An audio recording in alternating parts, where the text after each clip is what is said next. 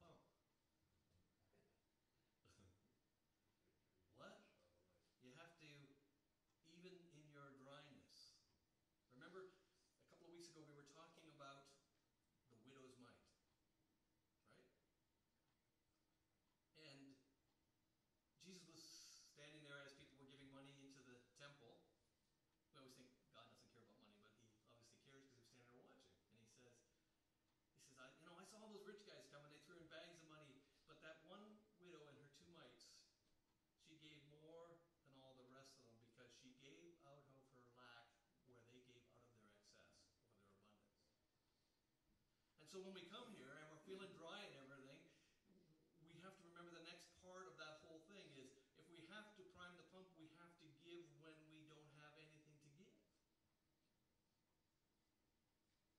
When you come before God, some of the most intimate times you'll ever have with God is the time you feel least like worshiping God in the whole world will turn around to be the most amazing time in God's presence because out of your emptiness, out of your lack, you come before Him to give Him what you have.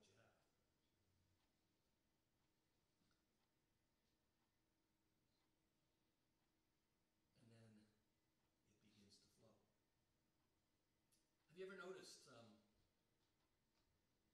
you're out one day and pretty typical day, and all of a sudden an opportunity opens up to you, whether it's to, it may start by some simple gesture of holding the door for someone, or um, you might be in line somewhere, and, and as you begin to open your mouth, stuff begins to flow out of that. And all of a sudden you have this great excitement and joy in your life because you're realizing you're having the opportunity to share something with someone who is open and receptive to at least part of the message that's coming out from you. Ever had that experience? And all of a sudden you you were pretty you know, low key before, but now you're pretty excited. All of a sudden welling up within you is, oh, I think that would be that your joy might be full thing there.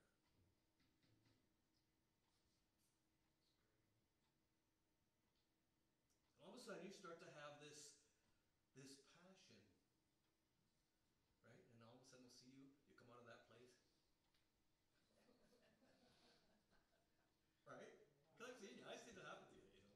And it's sort of do that little skip down the street, and, and now, you know, before it was like, oh, I've got to go to work. Now it's like, all right, I can't wait to get to work, right? I can't wait to get to maybe I'll get another chance to talk to that guy or to this person or whatever, right?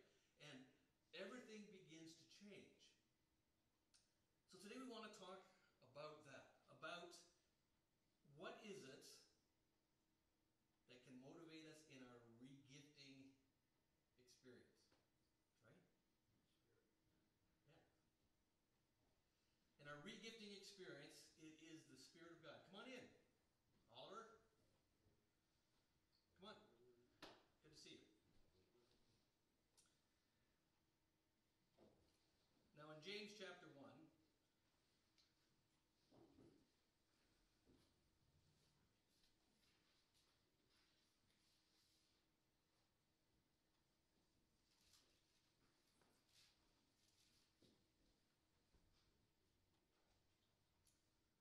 in James chapter 1, and I'm reading from verse 16. And it says, it says, Do not err, my beloved brethren. And then it goes on, it says, Every good gift and every perfect gift is from above. Is that Verse. 17? 16 and 17. every good gift and every perfect gift is from above. A good, a good guideline, if you're following along like that, is keep a piece of paper there. When I tell you the verse, you can write it down. Then you can look for it, because then you will remember it. Okay. Cometh down from the Father of lights, with whom there is no variableness, neither shadow of turning. Of his own will begat he us with the word of truth, that we should be a kind of first fruits of his creatures.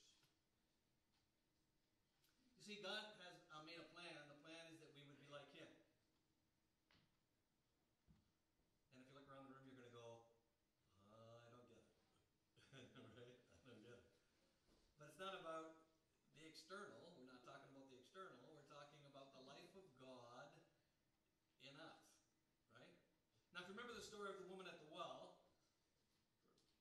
Jesus gets there and it says that Jesus was tired and he was hungry and they sat down at the well there and the disciples said, "Oh, we're, we're hungry. Well, we'll go get something to eat." And they go away to get something to eat. Jesus is left there with this woman who comes out to draw water, and he asks her for a drink of water and and uh, that, and she he said, "If you knew who- I was, you would ask me for a drink that I would give it to you."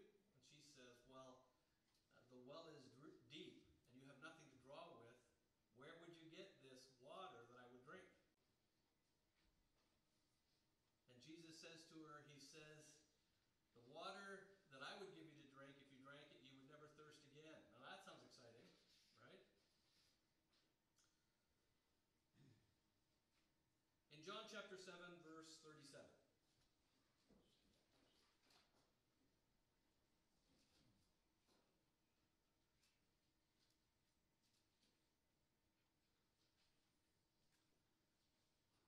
John chapter 7, starting verse 7 37, it says, In the last day, that great day of the feast, Jesus stood and cried, saying, If any man thirst, let him come unto me and drink.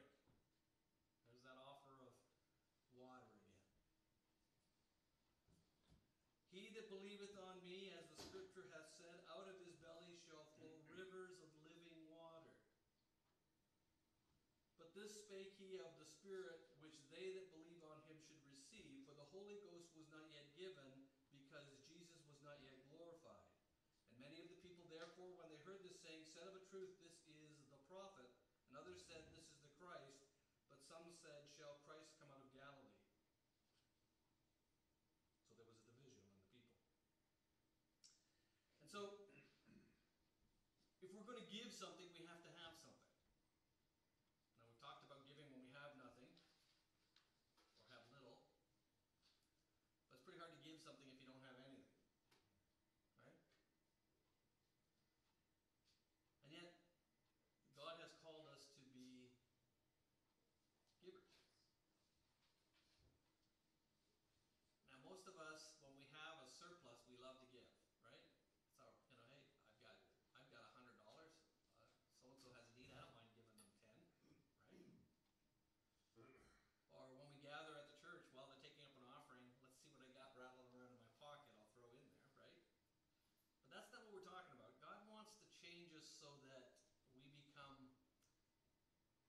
obsessed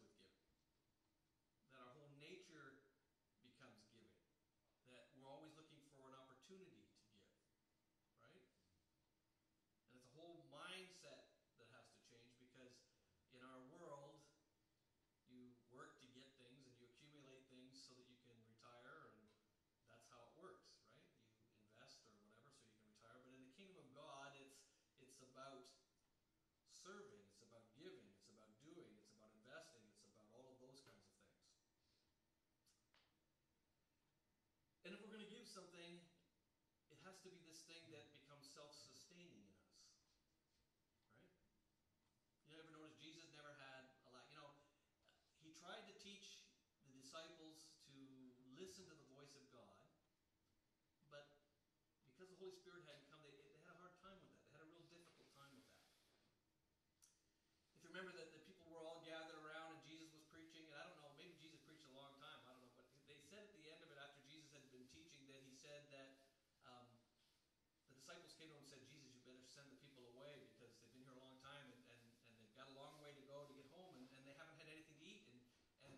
disciples were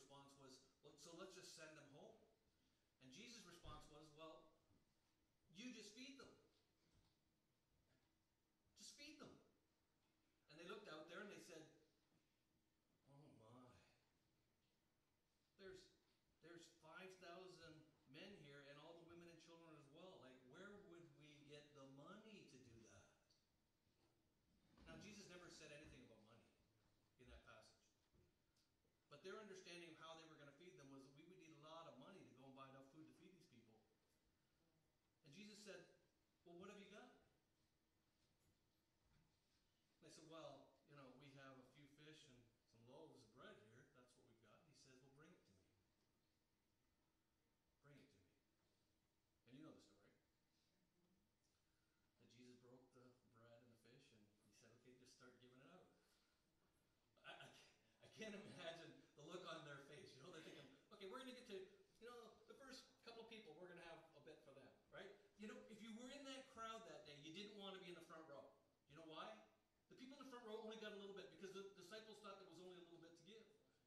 they were just tossing it around because there was a, there was they couldn't give it away. Right? You wanted to be at the back of the crowd because by that point they realized there's enough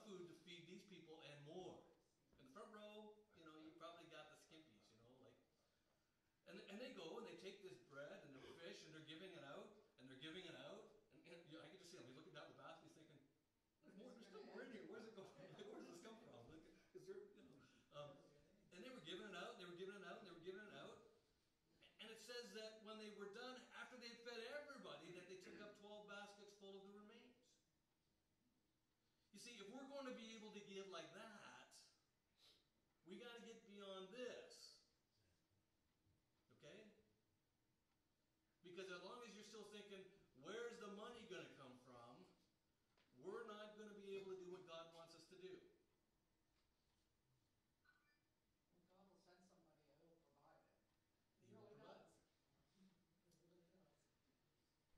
And so we have to understand that God's provision isn't always, come on in. Good to see you. Hey. It's been a while. Yeah. Have a seat, Angel. And so we need to understand that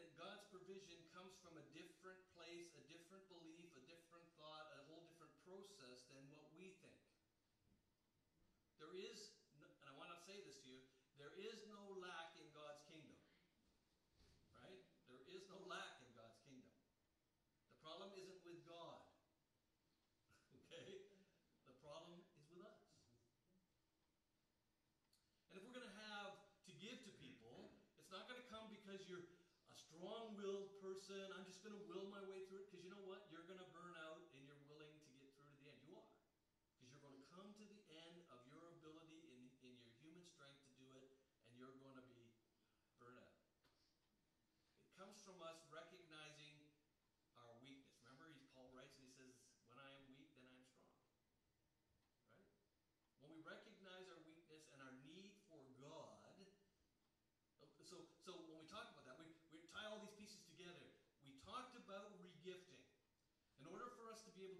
gift something, Jesus said, Love one another as I have loved you.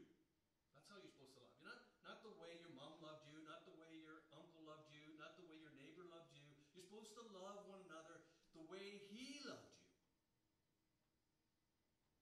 You can't do that with human love. We need something supernaturally from somewhere else. It's, it's got to be God. When you're out there and you've got nothing to give, or you says, What do you got? That's all He's going to say to you, What do you got? And He's going to take that as it's surrendered to Him and He's going to use it. Come on in. And He's going to.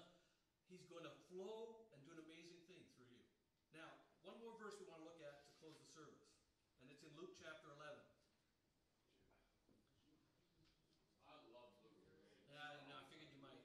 I'm, I'm kind of partial to Timothy myself, but I love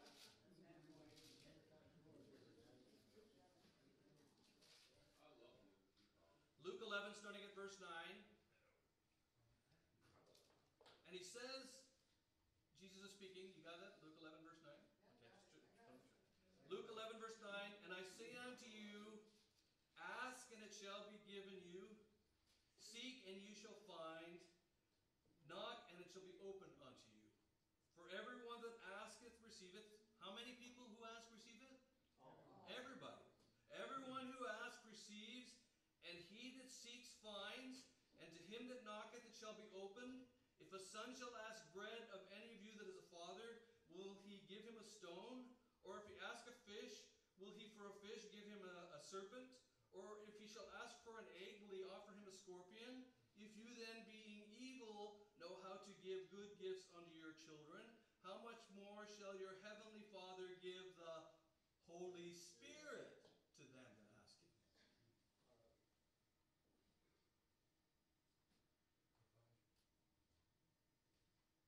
The rivers of living water he's talking about is the indwelling Spirit of God. Remember? When you go to the grocery store, you know, now they ask if you want bags or whatever, but you go to the grocery store you buy the stuff and you put the groceries in the bag. The bag isn't the important thing, the groceries are the important thing. Do you understand that? And just as you wander through this world as human beings surrendered to God, you aren't the the God that indwells you that's the important thing. Right?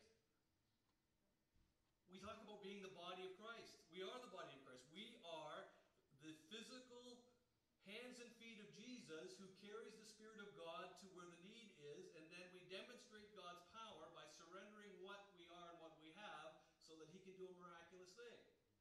Right? That's how God gets there. He uses you. The Word, that in this case, the Word which is Christ, indwells you, and it becomes flesh through your body, just as Jesus was the physical, fleshly representation of God on the planet when he was here. Now he's invited us into that, remember? Because he talked to us about how that as the Father loves Jesus, so Jesus loves us. And so what we need to do as we close the service is we need to recognize that there's nothing weird or strange or difficult about this. It's about surrendering to God. So if we need the power of God in our life, in all the areas, then we need to ask that God would give us His Spirit